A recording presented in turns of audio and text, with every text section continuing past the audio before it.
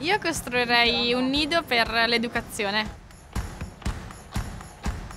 Lo costruirei per prendermi cura dei bambini, soprattutto dei bambini della mia scuola di robotica e per dargli tutti gli strumenti che gli servono nel futuro che vivranno per vivere il futuro da protagonisti. Per esserlo devono essere formati su questo futuro, cosa che molto spesso manca nell'educazione nelle scuole che normalmente frequentano i bambini perché non gli forniscono gli strumenti adatti, non solo strumenti tecnici come saper programmare o saper programmare un robot, ma anche saper lavorare in gruppo, saper essere creativi e sapersi porre in tanti modi diversi. Quello che voglio consigliare ai ragazzi della mia età è quello di non porsi limiti, di credere sempre che niente è impossibile e con tanta determinazione, coraggio, voglia di fare si può arrivare veramente ovunque e che devono sempre ricordarsi che solo sul dizionario il successo viene prima di sudore.